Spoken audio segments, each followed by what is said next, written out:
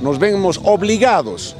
para que se cumpla la constitución política del Estado, para que se cumpla la ley que acabo de mencionar, realizar una acción de inconstitucionalidad a la ley hasta que no exista la consulta previa a todos los habitantes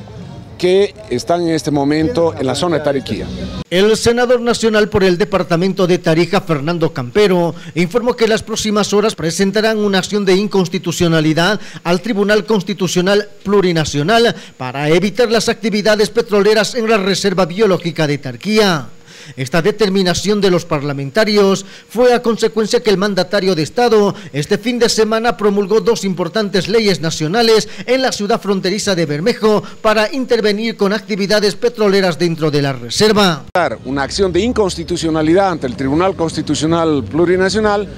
porque no puede saltarse la Constitución Política del Estado en su artículo 385, ni todo lo contemplado respecto a mm, áreas protegidas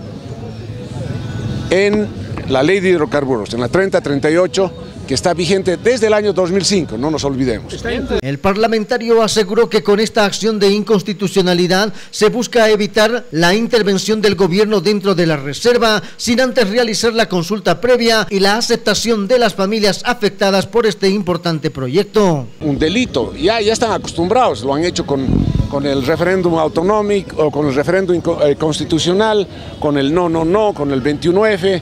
eh, ya sabemos pero el Tribunal Constitucional tendrá que dar su, claridad referente a la Constitución Política del Estado en el artículo 385 y a todo lo eh, establecido, a los cuatro artículos establecidos en la ley de hidrocarburos.